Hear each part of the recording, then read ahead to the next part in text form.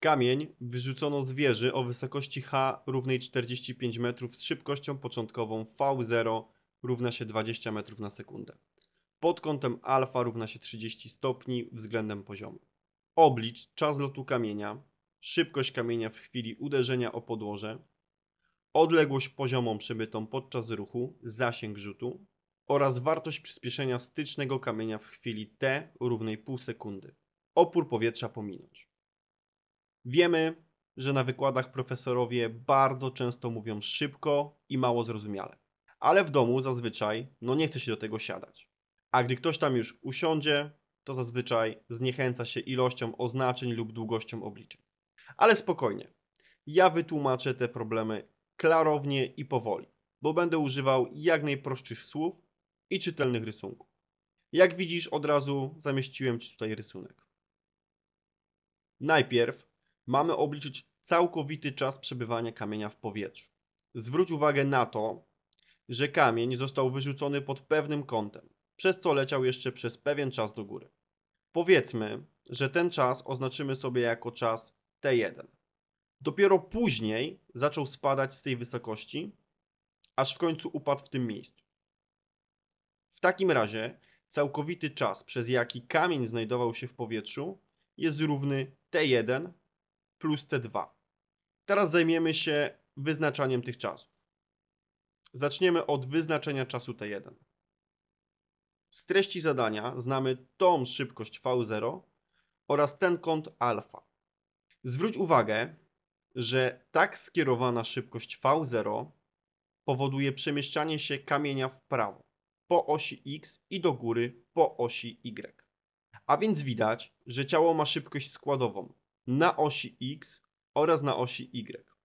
Szybkość, która powoduje, że ciało przemieszcza się do góry, to jest oczywiście składowa na osi Y. To ona powoduje, że ciało wznosi się do góry przez czas T1. A więc, żeby wyliczyć czas T1, musimy najpierw znać szybkość na osi Y. Tutaj na boku powiększyłem te wektory.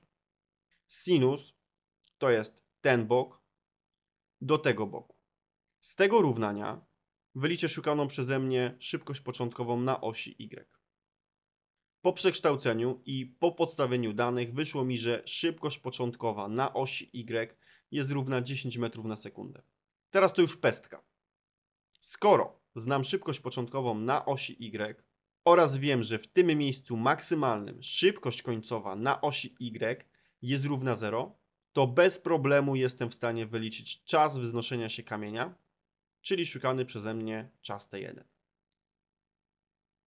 Znam przyspieszenie ziemskie, znam szybkość początkową i końcową na osi Y. Mogę obliczyć, jak długo kamień będzie jeszcze się wznosił do góry, korzystając z tego właśnie wzoru. Po przekształceniu tego równania otrzymałem taki wzór na czas. Postawiłem tutaj wartość bezwzględną, bo od zera, czyli szybkości końcowej, odejmuję szybkość początkową na osi Y. Przez co otrzymałbym, że czas jest ujemny.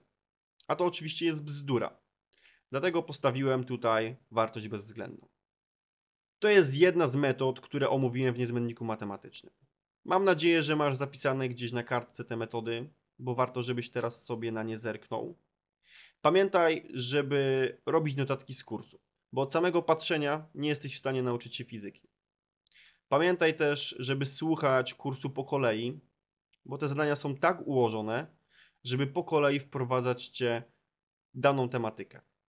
Nie możesz skakać z nagraniem do przodu, bo po prostu traci się wówczas ciąg myślowy, w efekcie czego ma się wrażenie, no, że się nic nie umie. No okej. Okay. Udało nam się wyliczyć czas T1, czyli czas wznoszenia.